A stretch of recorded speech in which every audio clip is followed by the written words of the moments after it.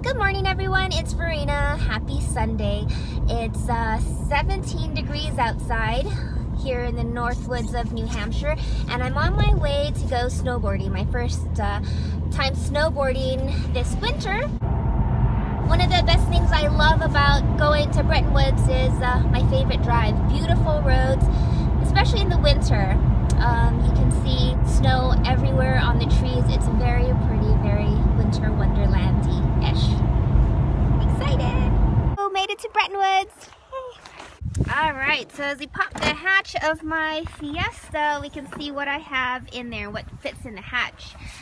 Have my snowboard. You can see it just fits. I think my snowboard is like a hundred 52 centimeters or something like that, however they measure it. And I got my important stuff, Tokidoki shopping bags and waters and my snowboard boots. All right, I'm all geared up, ready to go. We just picked up my season pass. It's a midweek expedition pass. Here's my board. I love my board.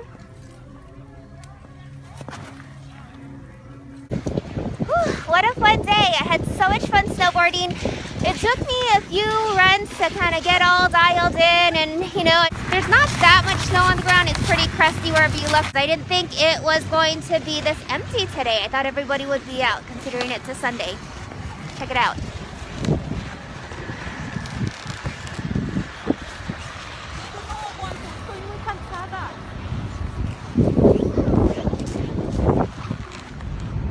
I had an awesome day snowboarding. I'm glad I went out even though the snow wasn't that great, but I guess you could say I'm spoiled. I usually go out when there's a big snowstorm, all the schools are closed, nobody's on the road, and then I take my car and head out there. Probably wondering where all the snowboarding footage is.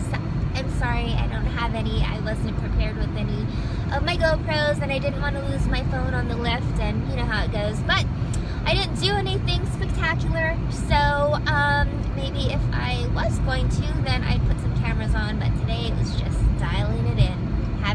fun, and getting ready for a big, fluffy winter.